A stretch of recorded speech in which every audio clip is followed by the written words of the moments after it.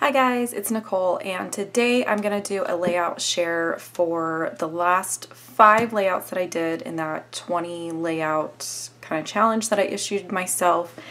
And I've mentioned it in previous videos, but if this is the first one that you are watching, I participated and did every single sketch from a recent sketch bundle that was put out from Scrapbook Generation. It was designed by Allison Davis and it was basically um, double page layouts using 6x6 paper pads, 20 sketches, and I did them all, and I actually did manage to finish all of them within that 20 week like live parameter of the Facebook group. I didn't necessarily keep up with posting them on the Mondays um, when like each week started, but I am glad that I finished. I'm glad that I kind of powered through it. And it's one of those processes that I thoroughly enjoy, so I'm already kind of debating about going through this with the single page sketches as well. And I know that some of you have mentioned that you would be interested in seeing that too. So this is kind of the time of year where I start figuring out where I'm going to go with videos for next year. So that now is kind of the time that if you do have a suggestion for me, go ahead and put it in comments to videos and it's this is just kind of the time of year where I start getting motivated and I start kind of organizing my process. So this is sketch 16. There is a process video for all of them. They're not necessarily in the order 16 through 20. I just did the videos as, as I got the layouts done. So this one was using a Doodlebug collection and I pretty much just relied on the two packs of die cuts and a sticker sheet and then Nuvo drops and just again kept it simple. I did stitch on this one. It did keep it pretty close to the sketch. I think I changed up the photos over here and my photos I wasn't paying attention. I printed these a little bit bigger than what she depicted and just kind of made it work. For 17, I talk a lot in my video about the modifications. Uh, the sketch shows these photos being over here and I'm pretty sure I kind of modified this area and I stretched my photos to be a lot bigger just because of the way the subjects of my photos was going to make it easy to crop that way. Um, this is one of the ones where I didn't necessarily have a lot of pre-made product that was going to work with what I wanted to end up with. So I just used a Mickey head punch that it was a punch I bought from scrapbook.com. I'll try to post a link below. It's one big punch that does five, I think six different sized Mickey heads.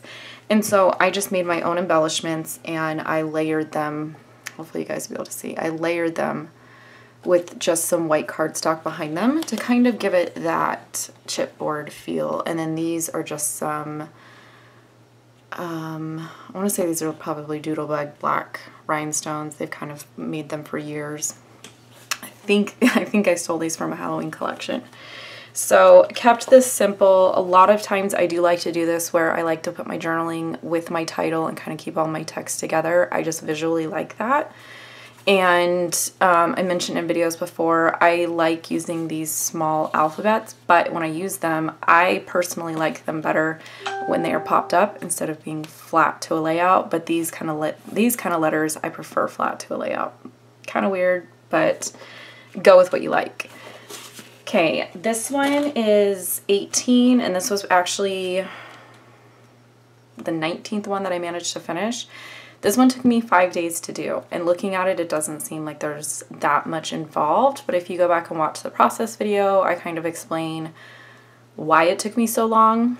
Other than the pattern papers, everything else I made myself. I made my own pipes, I die cut the tops of the pipes, I die cut the yellow boxes, the coins, the clouds, I stitched on the clouds, I stitched on the pipes, I stitched on my um, letters, which these were die as well.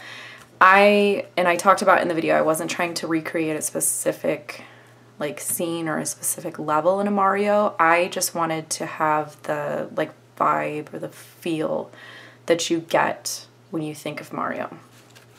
So this is 18. Again, there is a process video for all of them. I will link them below. I'll also link the full playlist for any any process videos that I have that are done with 6x6 paper pads. This was Sketch 19. I did modify my photos. I wanted to use these selfies that I took at the Scrapbook Generation Create Crop from 2018. So the original sketch I think called for 4x4 photos and a 4x6 photo over here. And then there would have been a gap, like a this this kind of a gap on this side as well. I modified my photos and turned them into 3x3s and then added two 3x3s here instead of a 4x6.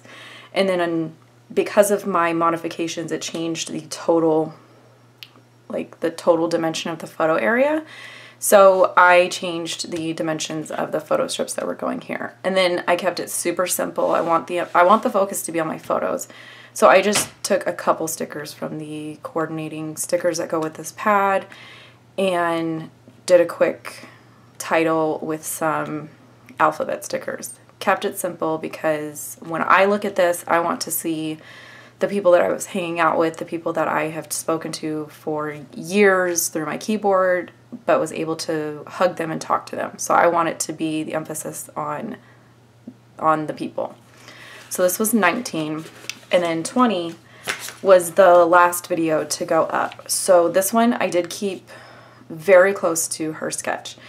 I did modify my actual photos, but the total measurement of the photo area is the same. So when I want to keep the same area, but I want to change the size of my photos, I just play around in Photoshop. A lot of times I will just put a grid overlay on a blank document crop my photos and drag and drop them into that document and kind of digitally move them around onto the paper to figure out, okay, if I want this one here and I want this one here, which one can I can I crop down to be a little bit more narrow because these ones might be three inches, but this one's two and a half inches because I need a total distance of, of whatever it was. So that's how I figure out the math on these.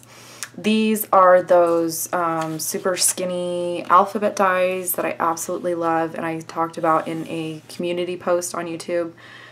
Um, these are from scrapbook.com. I bought them when they went super, super on sale for $20. They're now still on sale, but for $30. But you get the uppercase and the lowercase.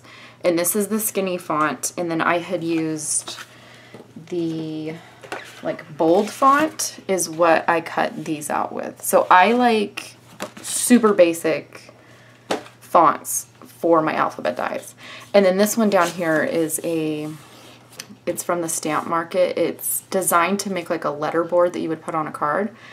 But I like the small size of the alphabet for doing like a subtitle.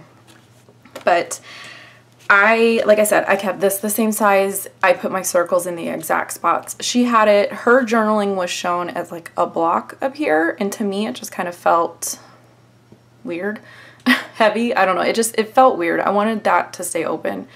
So I chose to do journaling strips and then I just kind of put them at different, um, what is it? I can't think, I can't think of the word they're not left aligned, they're not right aligned, they're not centered, they're just kind of mixed up. And when I, lately I've, when I do journaling strips, hopefully you guys will be able to see, I put them on foam strips and I, I keep telling you guys, if you guys have not tried these, you have to try these. It's like the most ridiculous, like basic product that I've bought recently, but it's so much easier than the big like 3M roll that I've used for like 10 years. So I bought a bunch of these when their adhesive was on sale. So stock up when you see like your favorite online stores do their sales like that. Um, so I'm going to post some links down below. So if you're looking for a specific process video, if you want just access to the playlist without having to go through my channel, I'll post stuff like that below. Um, and anything that I think you guys might find interesting or that's possibly new. Now, I am going to post another video regarding these layouts.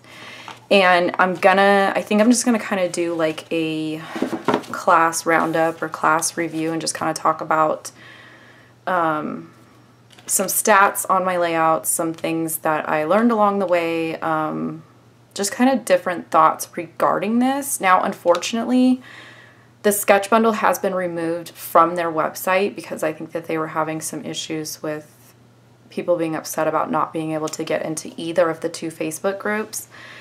Um, I will tell you that it sounds like she is going to be doing other either sketch bundles or classes in that same format.